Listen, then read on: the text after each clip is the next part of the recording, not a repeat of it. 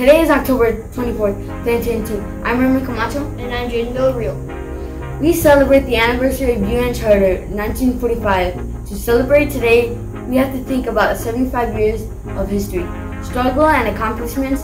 So take a moment to consider the incredible impact the United Nations had on every corner of the globe. Today is also the first day of Red Ribbon Week, kicking it off with Shade Out Drugs and Bullies, a day where you wear sunglasses and hats. And for this day in history.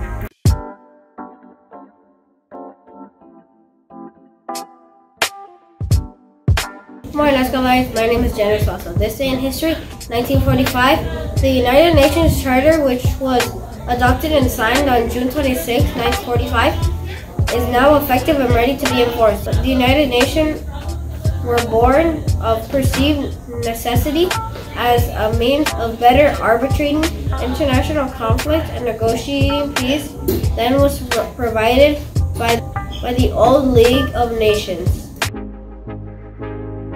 And now an inspirational quote. Stay away from those people who try to disparage your ambitions. Small minds will always do that, but great minds will give you a feeling that you can become great too. Mark Twain. And now the weather report.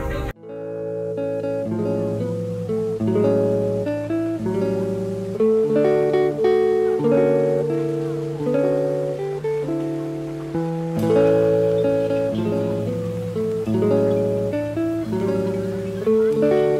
continue with the news, it's fun fact time!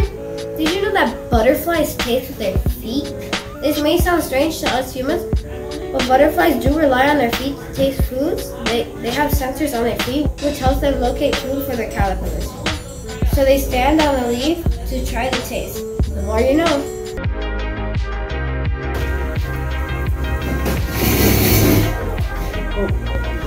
like to wish Michelle Hernandez a safe and happy birthday, and here's to many more.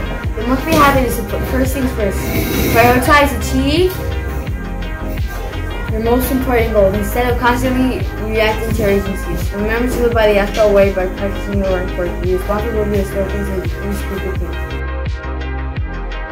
Lions out! Roar! Roar!